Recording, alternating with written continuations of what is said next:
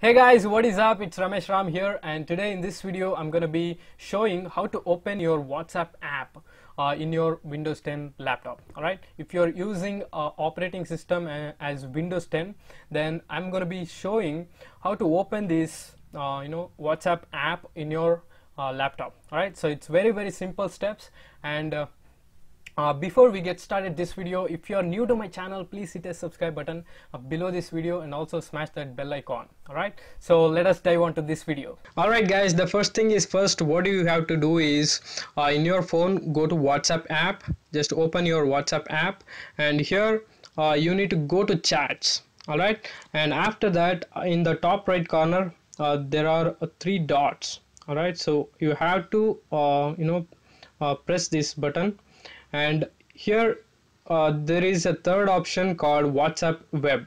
You need to click on that.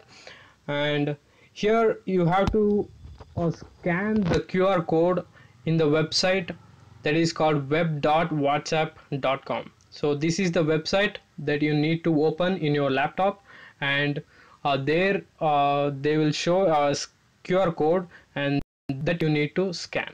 Right? So that is very simple so in your laptop uh, you need to go to Google and open this website called web.whatsapp.com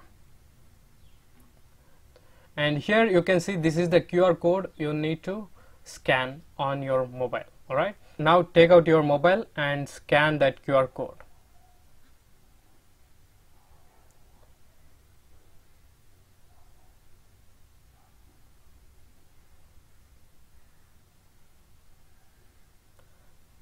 now you can see uh, my WhatsApp app is opening in my laptop. You can see here.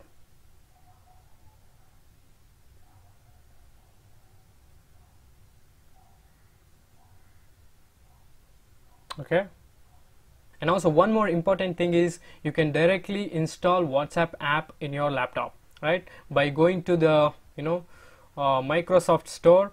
Here you can directly install WhatsApp app. Okay just uh, search WhatsApp app for desktop. Okay you can just get it uh, in your Microsoft store.